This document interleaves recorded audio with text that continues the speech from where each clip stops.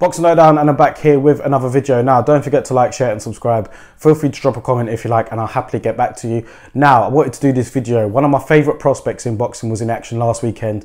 Jaron Ennis looking superb, um, knocking out his opponent Arbro, I believe his name was. Juan Carlos Arbro, I can't remember, sorry guys.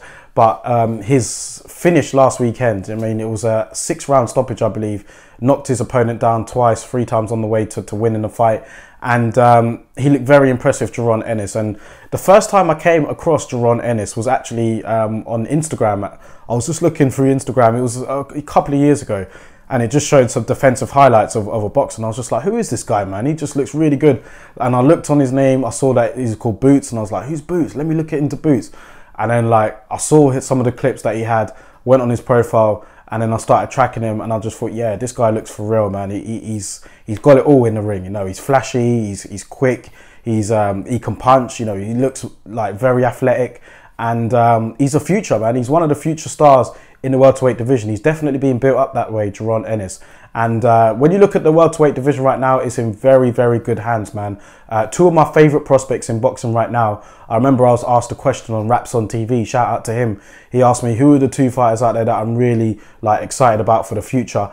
And both of those guys that I mentioned were Jaron Ennis and Vergil Ortiz. I think that these two guys, both in the welterweight division as well, have got a very, very bright future ahead of them. I love watching both of them fight. And could you imagine, like, maybe down the line we could see these two get it on? We don't want to see it yet because they're still building up their star power, but the future is very bright for these two guys. Uh, Jaron Ennis, like I said, in the ring at the weekend, he was flashy, he was quick, showed great combinations to the head and the body, displayed power, you know, variety. Uh, he's got it all, man. He's great defensive as well. And uh, it is early in his career, so we're not going to want to rush this guy. But from what I've seen so far, man, I'm very impressed by him. And, um, you know, over here in the UK, I mean, a lot of people seem to know who he is as well. It's not just over in America. Uh, a lot of the UK fans have taken note of who Jaron Ennis is.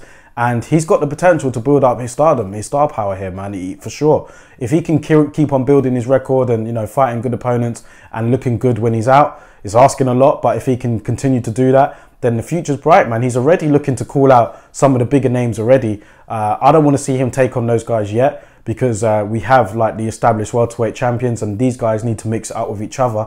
So in the meantime, man, um, Jaron Ennis and Vergil Ortiz, they just need to keep on building up their star power, man. I'm not saying that they need to fight scrubs along the way for the whole time.